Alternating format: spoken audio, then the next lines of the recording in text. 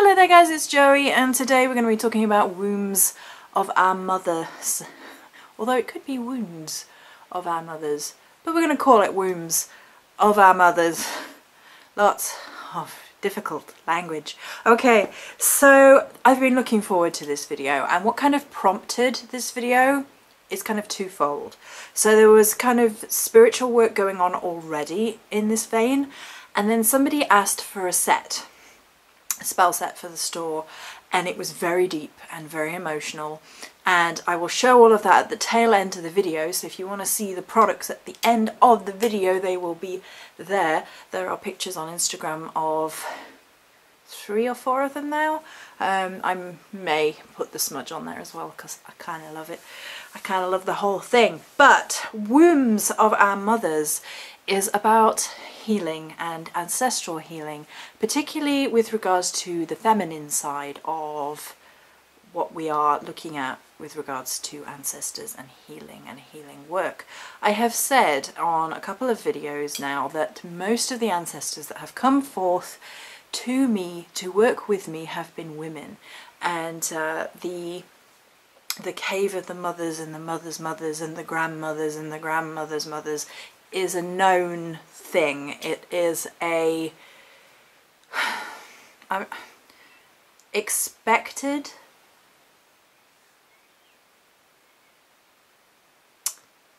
hmm. I don't know if expected is the right word. It's often the case that people find that their mothers and the mother's lineage are the ones who are in the spirit realm reaching out to future generations and past generations and timey-wimey as we were talking about yesterday you know that time is not linear we were talking about that in the live chat yesterday if you missed it uh, I don't feel that time is a straight line. I feel we can reincarnate at different times along the, the line. It, we can go back and forward and all the rest of it. And for me, when working with my ancestors, they have come forth so far as women. And when looking at this energy, this concept of wombs of our mothers, the idea behind this concept was the connective thread to our ancestors through our mothers, our mothers' mothers, our grandmothers, our grandmothers' mothers, etc.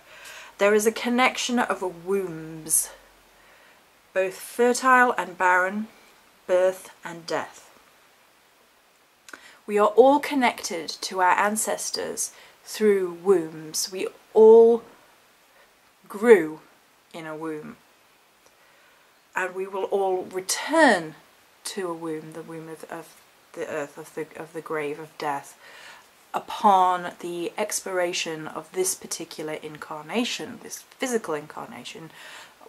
But for most of us, we feel that this is just one blip of light in, in many, that there is reincarnations, and reincarnations is not a straight line, as we've been talking about, and I really liked this idea, this, this analysis, that we are all from a womb and we all return to a womb. And there are artistic renditionings of this all over. Um, there's one where there are two women um, in birthing pose and like people going between the two in terms of being born and then dying and walking back into the womb. And that connectivity between wombs is something that I think is an absolutely potent, powerful, incredibly beautiful analysis of, of life. And when we talk about wombs of our mothers, I think there is always this immediate hesitation with those who aren't female in this incarnation. And to the people who are not female in this incarnation, I will say the following. One, we all have masculine and feminine energies within us there is no, in my mind, there is no like def definite, you are definitely only one thing. Um, we, we all have these masculine and, and feminine elements in us and largely conceptions of gender are formulated within lifetime by like cultural, social, accepted pressures, things of that nature. What feminine is and what masculine is is largely made up by human beings. Um, other than the difference at a biological level, which is the difference of a chromosome, it's we're all the same up until that tiny little point and then it's only like after that little point. The other thing about that is that uh, I, I, was talking with Chris yesterday and we were saying how we felt that um, the reason you can be uh, and uh, like reincarnated but who are you working with in terms of ancestors is that we felt that the energy of a person is not just in this one place in that the energy reaches along roots of an ecosystem and that reaches into the past or into the future or into other realities or into other parallel universes even that we don't know about. And we get so very very very tunnel visioned about the world we live in that we don't consider that our energy might be beyond this one shell. It might be far reaching, it might be interconnected to different places, different times, different lives. And if that's the case, our energy may be touching all sorts of different lives, which gender is interchangeable. we may be masculine in one life, we may be feminine in one life, and so on and so forth. Um, and presumably uh, the thing that makes most sense to me is that we would engage with all the different forms of expression and gender being a very simplistic expression of um, learning through life. Like what is it in this life to be masculine? What is it in this life to be feminine? Um, does it matter? And and then everything and everything in between. And in terms of you know, not in terms of in between um, gender, although that is something else, but all the many, many lessons um, that are nothing to do with gender and so on and so forth. And so because we have experiences in different life paths, at some point we will all have been womb orientated. And I don't feel that it makes much of a difference whether in this incarnation you are male or female. I don't think it makes much of a difference in this incarnation whether you've had children or not. I think these are all choices that we make on a level. Perhaps it's predestined, perhaps it's not. Perhaps there's an element of predestiny and an element of choice. Um, who knows? We have no way of knowing for definite. So I think we have to get beyond the idea of saying, well, you can only talk about wombs of our mothers if you're a woman, because I don't agree with that. I think we can have to get beyond the idea of we can only talk about wombs of our mothers if we've had children ourselves, um, and, and because we're trying to fit archetypes in boxes because of that. And so that, to me, is a hindrance. It's like getting caught up in the details and not looking at the things which matter within this topic. And this topic, Wombs of the Mothers, is about the interconnectivity of wombs, um, the place of roots, the cave, a place of ancestral healing, holding space for loss, death, in particular, um, loss or death within the womb. So this little part of wombs of our mothers is what came um, as part of the request. Um, the, as the healing within oneself, within one's life path, particularly about loss around womb loss. So um, loss of children, uh, loss of fertility, barrenness, uh, death um, before physical life was birthed through in whatever form that might take. Um, there is an element of abortion here and uh, medical reasons and I am not going to be making a discussion around that subject. I know there's going to be people who are touchy about that subject, but that's not what this video is going to be about because unfortunately that's something which gets ugly. Um, but it is a space of talking about things which often aren't talked about um, and, and miscarriage and, and things of that nature difficult situations um, around the womb that many women go through, or many of us know women who have gone through it, or many of us have had lives that have been touched by it in some way, um, of, of loss before life, um, before the completion, before birth. And when we think about wombs of our mothers being a space of physical birth into this world, as well as the uh, the going back into the womb of the Mother Earth, um, in terms of death, the, the, interconnectedness, the symmetry, if you like, between the two um, is like a close bonded, knitted bond between these two energies. And so, in a way, when children are born, there is a death occurring. A death of the life in the womb, and then the beginning of a life outside of the womb. And I've talked in the past that I think I think Chris shared it, and it was um, two babies um, talking about like, do you believe in life after birth? And it's kind of a nice analogy that uh, from in that in protected space, in that protected womb space, um, the birthing process is quite traumatic uh, for both mother and child. In a lot of cases, some are easier births than others, um, but regardless, birth is a process of difficulty. And I was talking about this on the blog space in terms of birth, in terms of a spiritual uh, process, a, a, spiritual analysis, a spiritual parallel of birthing and birthing pains. And birthing pains within spiritual uh, discussions, if you like, is much more of a the birthing of something other than a baby into the world and that can be just as painful, just as brutal, um, just as agonizing, just as uh, full of blood, pain, and, and suffering in a lot of cases, because human beings and change don't come easy. Um, none of the human condition is not uh, hardwired in a lot of ways to enjoy change. Some people are better at it than others, admittedly. I am not. I I'm no good at change. I am resistant to it. It is an earth sign with an earth sign with an earth sign in the moon. Um, and I don't enjoy change or birthing pains whatsoever.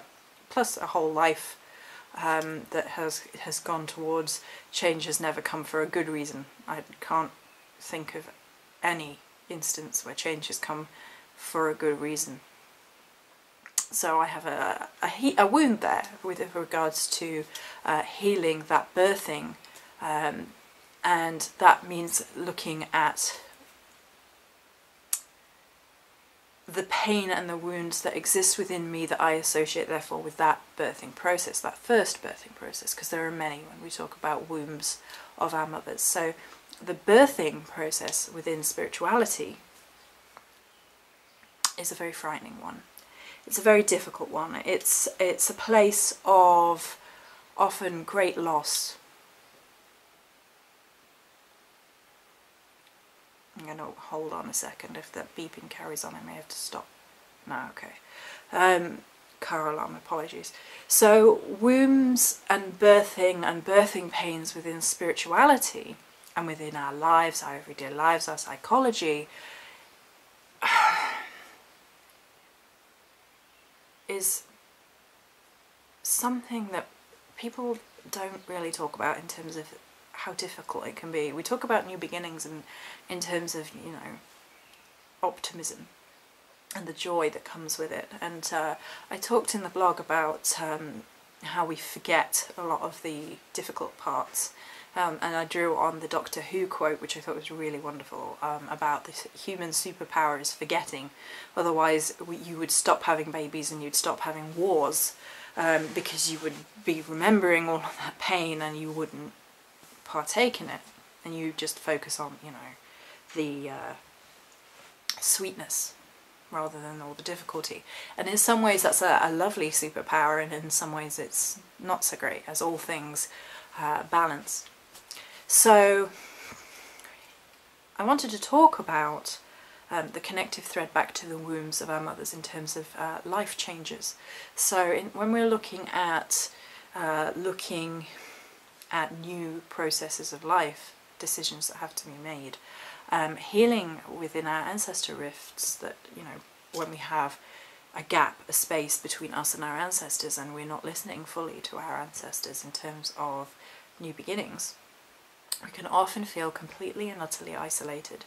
And I'm going, it's from a place of huge experience, you know, this is very deeply personal to me in that uh, I don't feel that I have a physical family backing me up in any choices that I make. So any stark, scary life changes are all by myself. And there is an element of um, terror that comes into that with me because that birthing process, that moment of birthing anything brand new is all on me.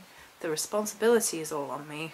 Uh, the crushing weight is all on me. If it completely fails up, it's all on me because I have no net, no human physical backup net. But if I get beyond the idea of just the physical family, then I realise that I have a spiritual ancestry waiting for me and more than capable and more than willing to offer advice, at least, and listen.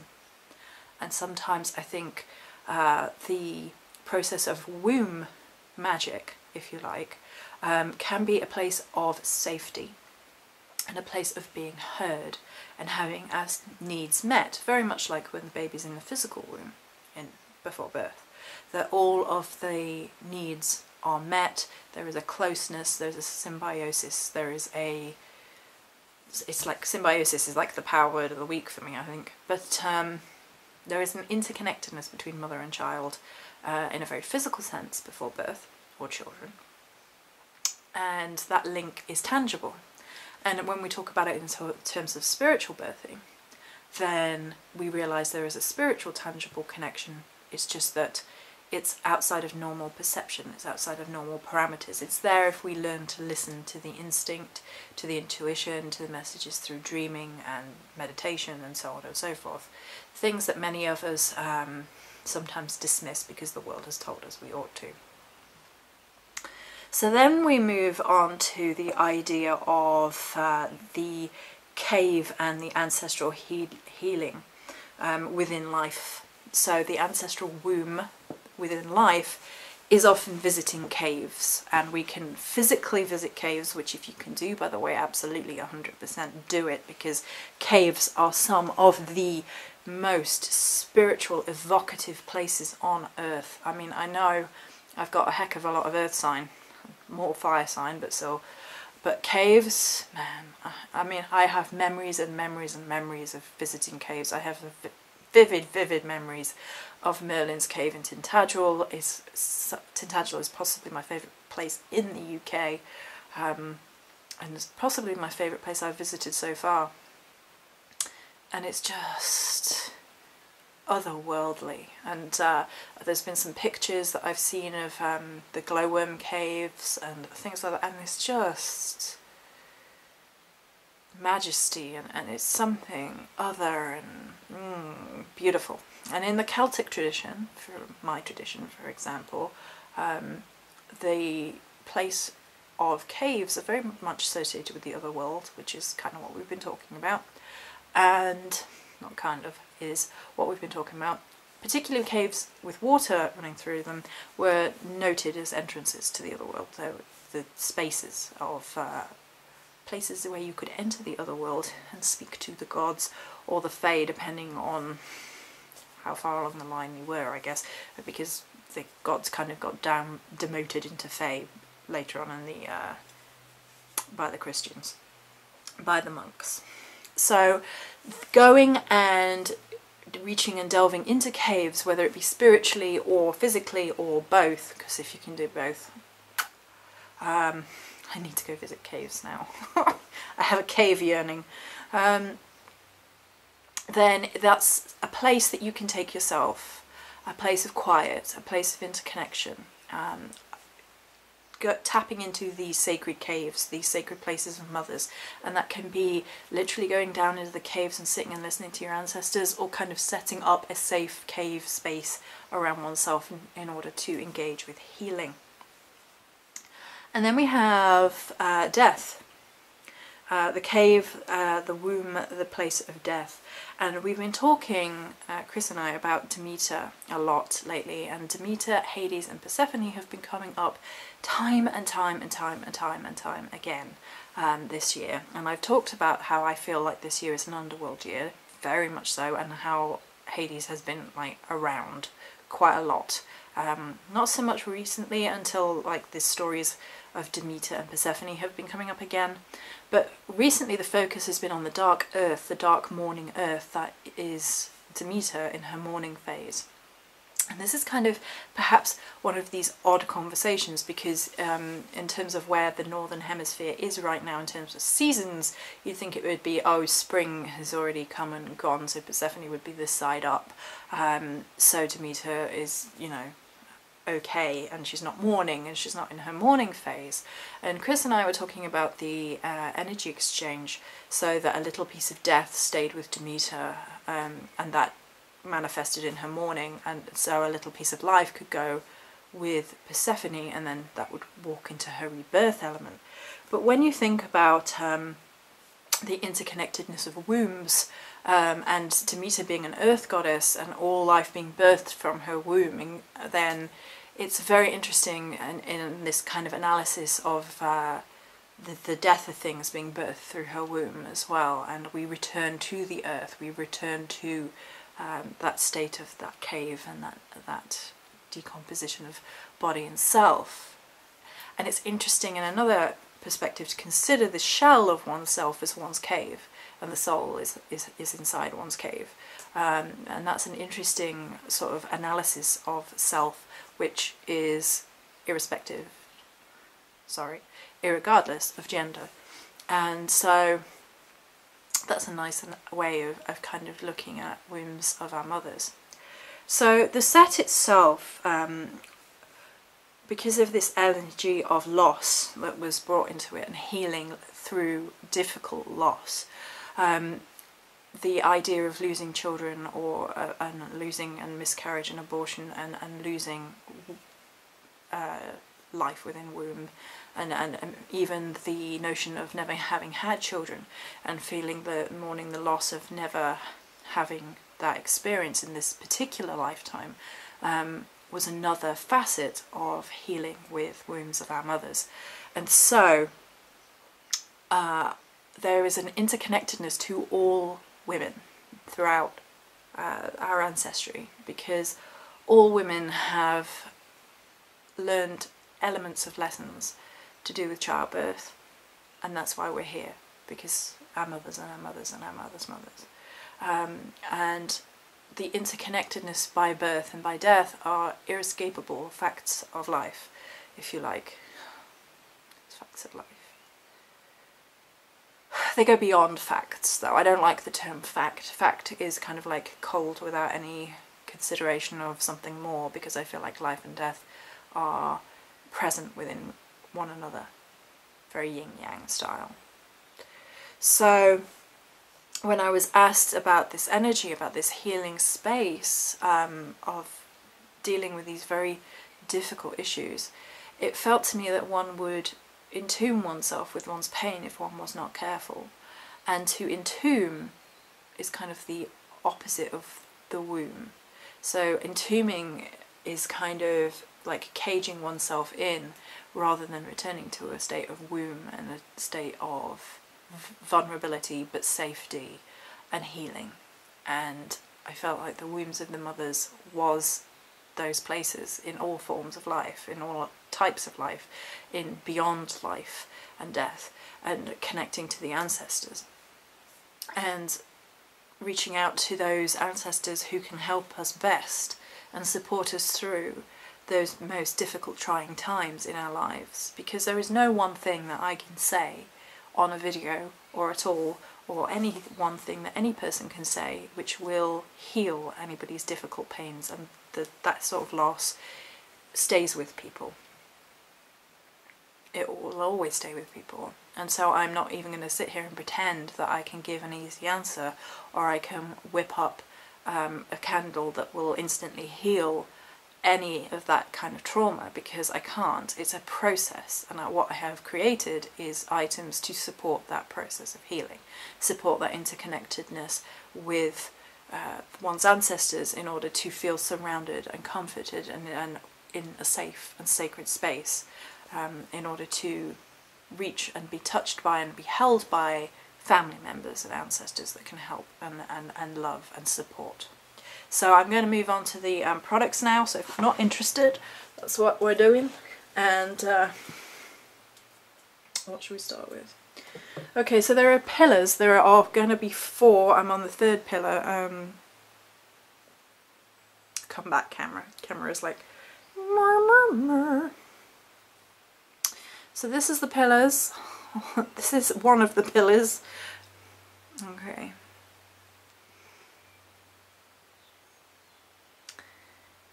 There we go. The pillar is black for the cosmic dark, for the dark, dark earth, um, and we have earthy tones, mossy tones. It's deep dark earth, it's Demeter. The pillars are very much about creating that cave space, that interconnectedness. It, that's basically what the entire set is about, is about creating that uh, connective thread to our ancestors, creating that cave, that that roots, that place of deep roots and so on. And ancestral healing. Yeah, and ancestral healing. Then we have the spell cauldron.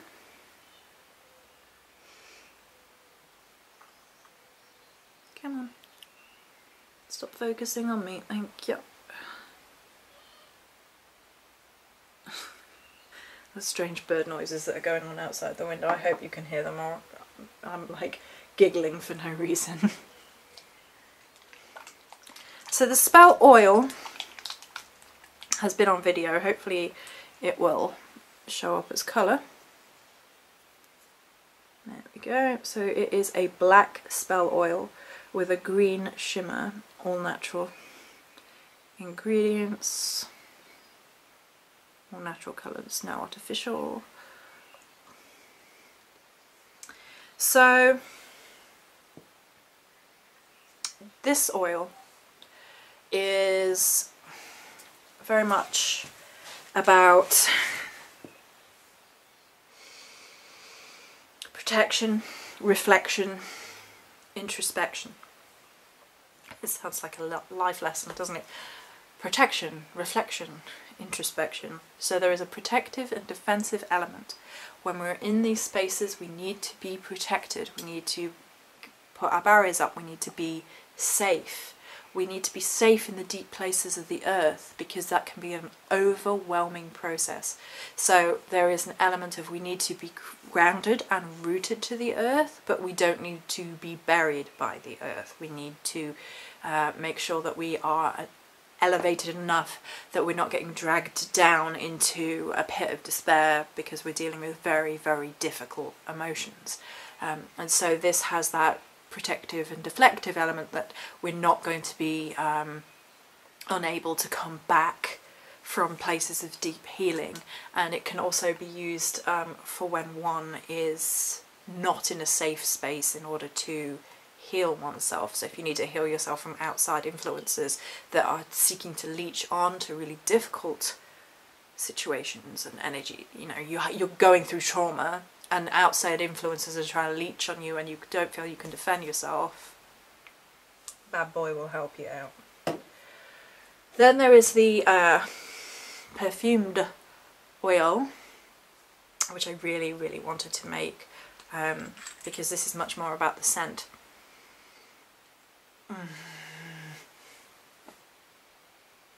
Okay, how do we describe the roll on scent? There's something of the wisdom of the grandmothers in this. It reminds me of the idea of being surrounded by herbs and spices with your grandmothers and your grandmothers teaching you um, magic and you're learning by scent and touch and taste and it's very tangible. It's a, a very physical experience of a spiritual experience. So it kind of ties the tangible earth energies in with the spirit realm energies. Mm. And it's an awareness, it's an awakening. A strength through information and knowledge and the passing down of information and knowledge through those roots which exist within the spiritual realm. Then we have the underworld salts. I hope you're going to be able to see this. Um, I'm going to do the up here and then I'll open it. So, and hopefully not spill it everywhere. So I hope you can, I'm going to show you in the lid because, uh, no, never mind, it's too light. Come on.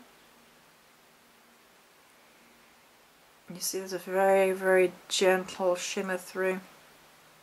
This is, hopefully you can see, it looks quite black. It's actually a very, very, very dark green for underworld salts. All naturally dyed again, there's no artificial uh, nonsense in there. There's no like synthetic dye in there or anything like that. It's all natural herbs and, and such and so on.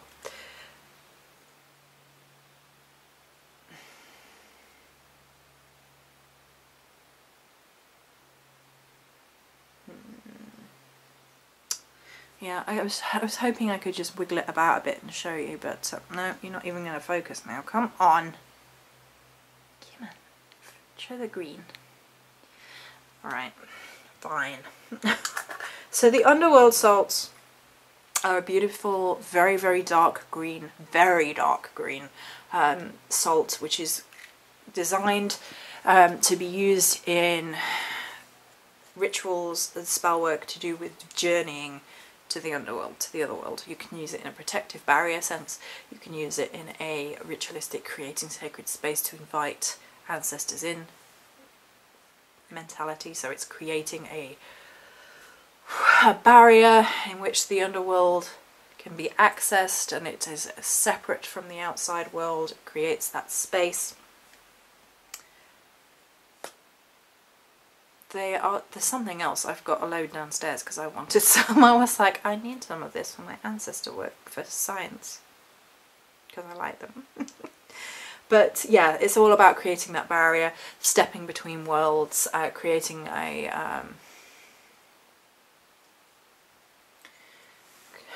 how would you uh, a portal a, a walk through a doorway a step over into the into the realm of the other world and last but not least is Temple of Wombs of Our Mothers.